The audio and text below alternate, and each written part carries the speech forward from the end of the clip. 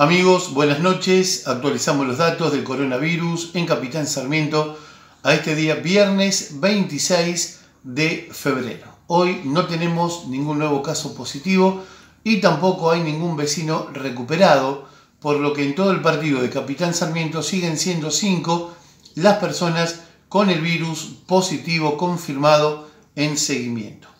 Hay un vecino internado en el Hospital San Carlos, afortunadamente no se encuentra utilizando ningún respirador.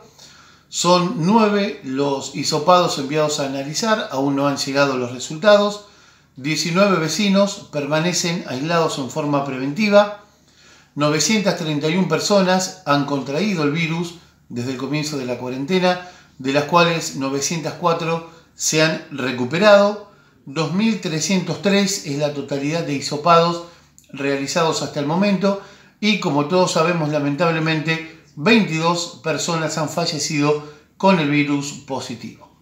Hasta aquí actualizamos los datos del coronavirus en Capitán Sarmiento según el informe del Comité de Crisis a este día viernes 26 de febrero.